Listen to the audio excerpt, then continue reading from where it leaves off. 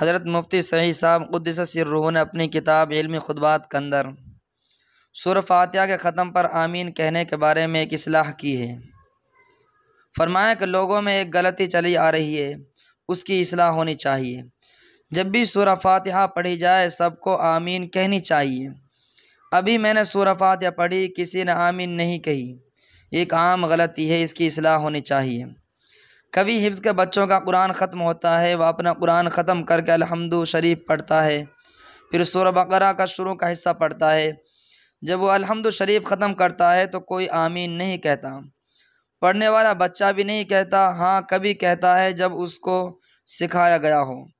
लेकिन मजमा में से कोई नहीं कहता, क्योंकि उनको बताया नहीं गया। बस जानना चाहिए कि जब भी सूर फातिहा पढ़ी जाए तो उसके ख़त्म पर पढ़ने वाले को भी और सुनने वाले को भी आमीन कहनी चाहिए।